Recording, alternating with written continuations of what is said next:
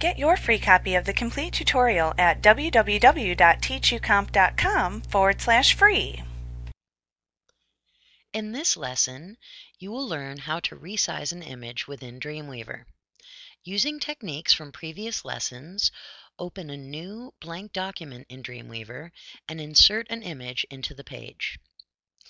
There are two easy ways to resize an image within Dreamweaver. First, you can use the Properties Inspector. By clicking into the dimensions of the image, you can use your backspace key to remove the old value and type in a new value. In this case, the original image was 480 pixels wide by 360 pixels tall. I'm going to click into the width text field and change 480 to 400, and then I'm going to press enter on my keyboard. You can see that my image stretches to accommodate the changed width. Notice also that the height of the image does not change. You'll also see that when I changed the size of the image, a new icon appeared just to the right of the image's dimensions. This is the Reset Size icon, and if I click it, the image will revert to its original size. Another easy way to resize an image is to simply click and drag one of the black boxes that appear around the border of an image when it is selected. You can see that when you hover your mouse over one of these boxes, the box changes to a double pointing arrow. If I choose the box on the right side of my image, I can click and drag to make my image wider. If I click and drag the box on the bottom of the image, it will make the image taller. Each change I make is reflected in the Properties Inspector and I can see the new width and height of my image after I click and drag.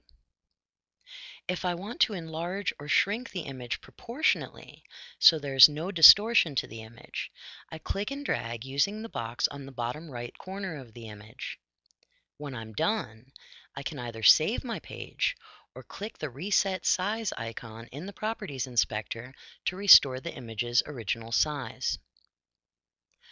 Although it's easy to resize images within Dreamweaver, there are several reasons that it's a better idea to resize your images using an image editing program like Adobe Photoshop. First, when you resize images using Dreamweaver, you're not really changing the size of your image. You're just adjusting the way that the image will be displayed within a web page. If you use Dreamweaver to reduce the size of an image, the web page will still have to load the original larger image, which wastes bandwidth and takes longer for pages to load. If you use Dreamweaver to enlarge the size of an image, you can face distortion and quality issues that are avoidable when you use a program like Photoshop.